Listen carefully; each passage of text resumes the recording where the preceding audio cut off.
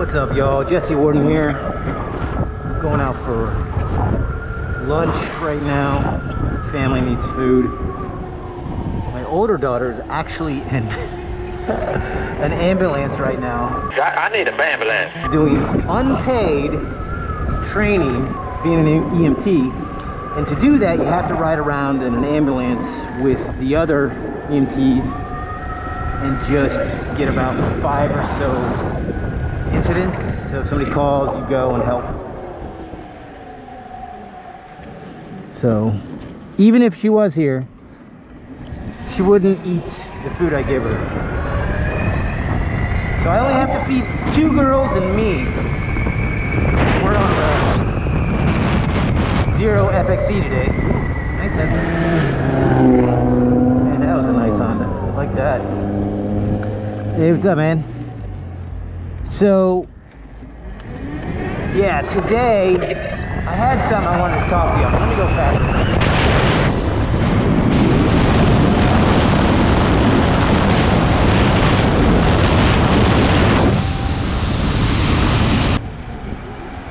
Yeah, so why I waited this late, let's talk about what's on my mind. I have a Kawasaki Versys X 300. It is a 300cc adventure motorcycle.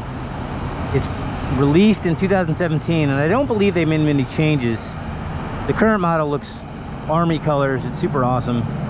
But I got a 2017, and it's it's a wonderful adventure bike because it's lightweight, and they basically took like a Ninja 300 engine, put it in there, tuned it down a bit. So it still has the high rev range, but it drives like a Jeep. so you can take it off road, you can take it on the highway, it's great.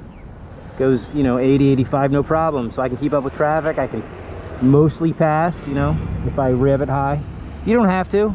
She likes to be in the mid rev range, around 5 to 8. So I've been seeing on YouTube the MT 450. It, it is a CF Moto adventure bike and most of the CF Moto stuff that you've seen at least in the past few years has always been under the moniker of KTM they use them as a manufacturer for their engines but so a lot of Europeans are just kind of you know normalized with that. There's a lot of Chinese bikes in Africa for example. Having a Chinese motorcycle is kind of interesting.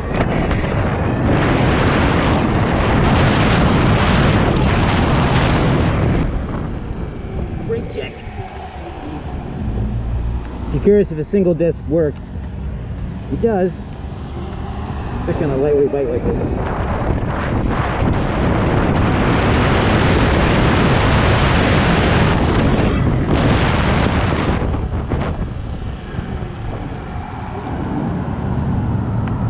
The reason I bring it up is that I saw both European YouTubers I know and some I don't know all enjoyed their rides and the one spec that was crazy to me is it's a 450cc engine but it weighs the same as my Kawasaki Versys X300 so they're both 389 390 pounds.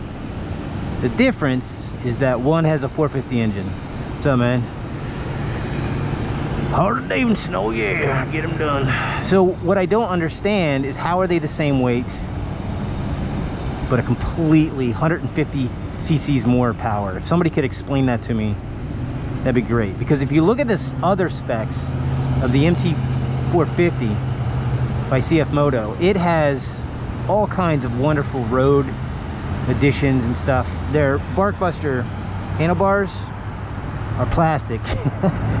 but beyond that, I mean, it looks amazing. And they're calling it the unicorn bike. And Born a Goon had a, I think, a very good philosophical video of why there's not a 50-50 unicorn bike.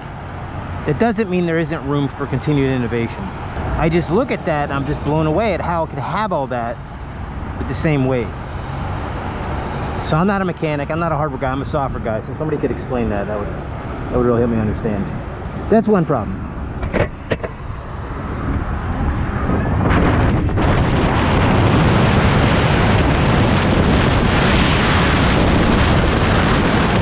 And that different spokes guy up in Canada, he had a really good point about that. One thing he said that I thought was fascinating is he said he came from a communist country and that you can't really blame the people who don't have any power to make the change. And so he was citing the Kove guy and the CF Moto guys, and they just are passionate about motorcycling and they love it. And so everything in America, even making America great again hats, are built in China. They're made in China. And so it's just ridiculous to think that you can escape punishing the country by fighting with your dollar, which I don't believe. I've seen companies who've frustrated American public and they're just, you know, they've gone downhill. So for example, like even the Zero, right?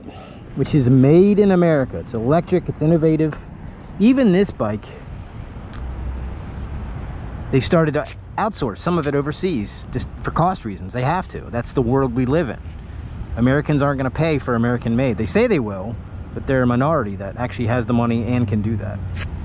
Why would I get that over the Versys X? How does it accomplish 150cc more than the Kawasaki Versys X 300? And what happens when they take the Ninja 500 engine, which is actually a 451cc, and they update the Versys to that? How would that work? Because it kind of competes with the 650, even though it's more dirt worthy and lightweight. So that'll be interesting. I know Chronicles of Solid was talking about where is the Versys X400, but I don't think that engine would get past EPA where I think the other one would. Let's go home. So I'm apparently a burrito deliverer from Moe's. I'm not Uber Eats. I could only do maybe two to three deliveries on this bike. Unless you like were really gentle with it and drove it like a scooter, which is not, not what I'm gonna do. And off we go. supposed to be like 96 today. Even going 20 miles an hour feels amazing. it's not 96 yet, but it's, it's getting there. This intersection is the worst. On this bike, it is the best. Because only this bike can pull off these crazy techniques. What up?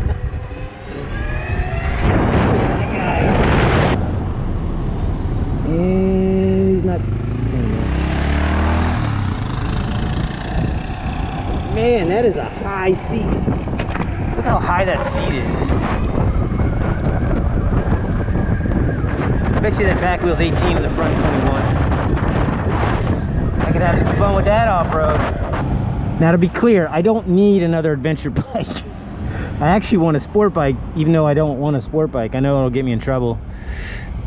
This thing's bad enough with its massive amounts of torque and the ability to go anywhere. At least with a sport bike, I'd be forced to stay on the street, where this thing I can go on grass, curbs, stairs, dirt, even with street tires. But I did like the fact that very similar to the Japanese in the 80s and 90s, coming out with these cars that Americans were like, why would I buy American? You know, these are reasonably priced and they last forever. The repairs are a little expensive. That's a harder right there. Right there, had to lay her down.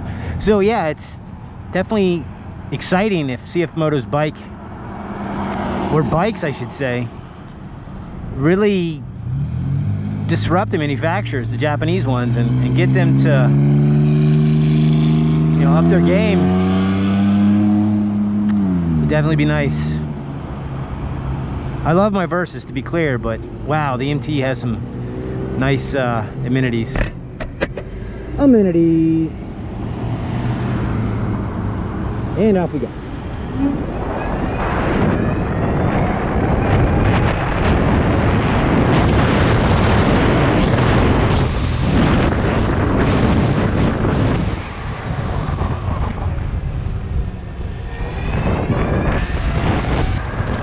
So here's another strange thing too for context. I remember when people were saying that the Versys X300 just doesn't have enough get up and go.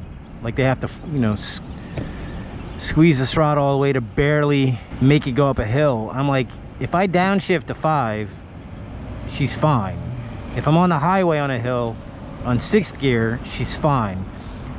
So the only thing I could suspect is that a lot of these people doing YouTube videos are angry that if it's not a 650, then it has no power. Especially the sport bike videos. When I drove a Ninja 400 that I rented, that thing was amazing.